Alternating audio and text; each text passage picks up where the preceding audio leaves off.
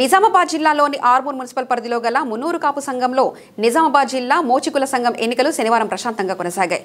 రాష్ట్ర అధ్యక్ష ప్రధాన కార్యదర్శి ఆధ్వర్యంలో ఎన్నికలు ముగిశాయి. అదేవిధంగా జిల్లా మోచికుల సంఘంలో ఆరుగురు సభ్యులు పోటీలో ఉండడంతో అధ్యక్ష పదవిని రాజేందర్ కైవసం చేసుకున్నాడు. ఆయనతో పాటు జిల్లా కార్యదర్శి కోశాధికారి తదితర కార్యవర్గ సభ్యులు పదవులను గెలుచుకున్నారు.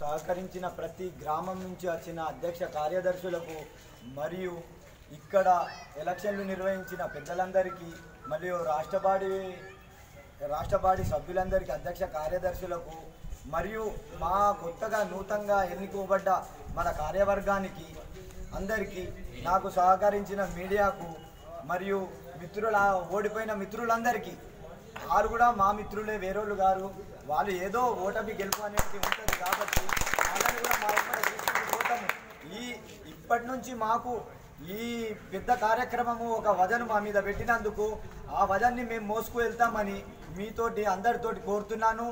అదేవిధంగా మా సంఘ సభ్యులందరూ నాకు సహకరించాలని మరియు ఆ సంఘ సభ్యుల లిస్టు ఒకరి తెలపకపోయినా ఇవాళ ఒకరు ఒకరోజు తొందరపాటు వల్ల